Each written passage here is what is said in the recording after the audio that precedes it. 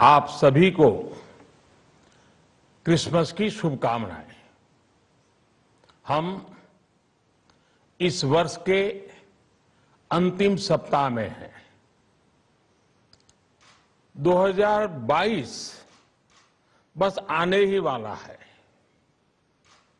आप सभी 2022 के स्वागत की तैयारी में जुटे हैं, लेकिन उत्साह और उमंग के साथ ही ये समय सचेत रहने का भी है। आज दुनिया के कई देशों में कोरोना के नए वेरिएंट ओमिक्रोन की वजह से संक्रमण बढ़ रहा है। भारत में भी कई लोगों के ओमिक्रॉन से संक्रमित होने का पता चला है। मैं आप सभी से आग्रह करूँगा कि पैनिक न करें। हाँ, सावधान रहे, सतर्क रहे। मास्क, उसका भरपूर उपयोग करें और हाथों को थोड़ी थोड़ी देर पर धुलना इन बातों को हमें भूलना नहीं है। आज जब वायरस म्यूटेट हो रहा है तो हमारी चुनौतियों का सामना करने की ताकत और आत्मविश्वास भी मल्टीप्लाई हो रहा है। हमारी इनोवेटिव स्पिरिट भी बढ़ रही है। आज देश के पास 18 लाख आइसोलेशन बेड्स हैं, पाँच लाख ऑक्सीजन सपोर्टेड बेड्स हैं, एक लाख चालीस हज़ार आईसीयू बेड्स हैं, आईसीयू और नॉन आईसीयू बेड्स को मिला दें तो नब्बे हज़ार बेड्स विशेष तौर पर बच्चों के लिए भी हैं। आज देश में तीन हज़ार से ज़्यादा पीएसए ऑक्सीजन प्लांट्स काम कर रहे हैं। चार लाख ऑक्सीजन सिलेंडर्स देश भर में दिए गए हैं। राज्यों को ज़रूरी दवाओं की बफर डोज तैयार करने में सहायता की जा रही है। उन्हें पर्याप्त तो टेस्टिंग किट्स भी मुहैया कराई जा रही है। साथियों, कोरोना वैश्विक महामारी से लड़ाई का अब तक का अनुभव यही बताता है कि व्यक्तिगत स्तर पर सभी दिशा निर्देशों का पालन कोरोना से मुकाबले का बहुत बड़ा हथियार है। और दूसरा हथियार है वैक्सीनेशन हमारे देश ने भी इस बीमारी की गंभीरता को समझते हुए बहुत पहले वैक्सीन निर्माण पर मिशन मोड में काम करना शुरू कर दिया था। वैक्सीन पर रिसर्च के साथ साथ ही approval processes supply chain distribution training IT support system certification पर भी हमने निरंतर काम किया। इन तैयारियों का ही नतीजा था कि भारत ने इस साल 16 जनवरी से अपने नागरिकों को वैक्सीन देना शुरू कर दिया था। ये देश के सभी नागरिकों का सामूहिक प्रयास और सामूहिक इच्छा शक्ति है कि आज भारत 141 करोड़ वैक्सीन डोज के अभूतपूर्व और बहुत मुश्किल लक्ष्य को पार कर चुका है।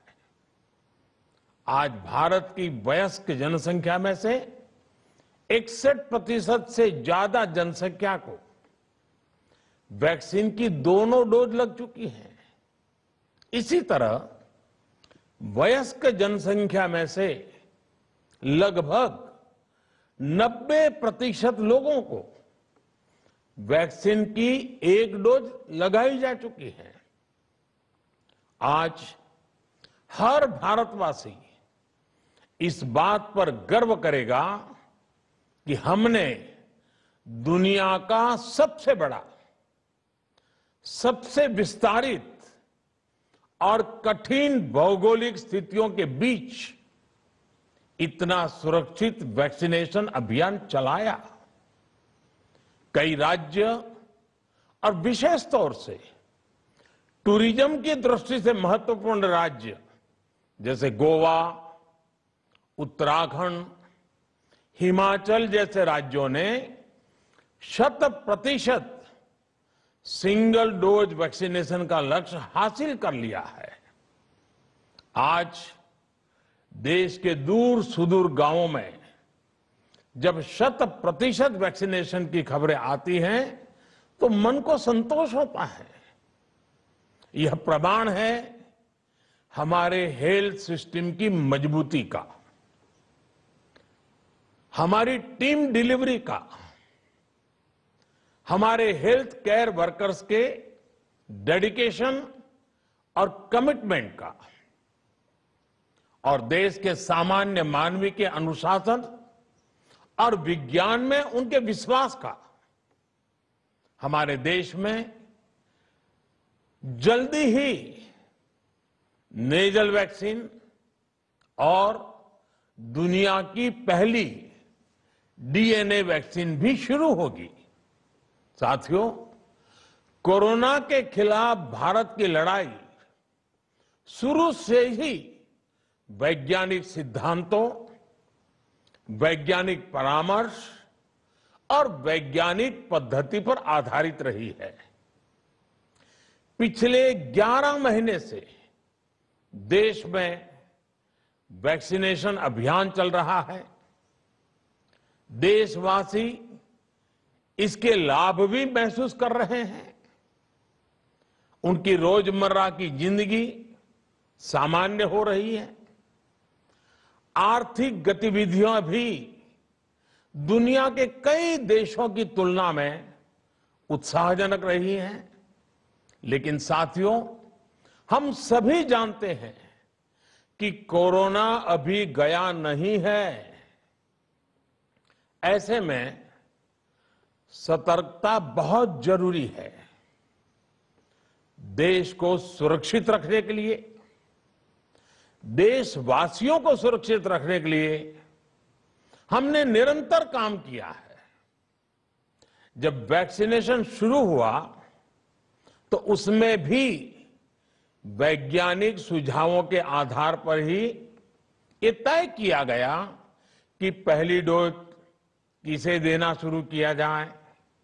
पहली और दूसरी डोज में कितना अंतराल हो? स्वस्थ लोगों को कब वैक्सीन लगे? जिन्हें कोरोना हो चुका है, उन्हें कब वैक्सीन लगे?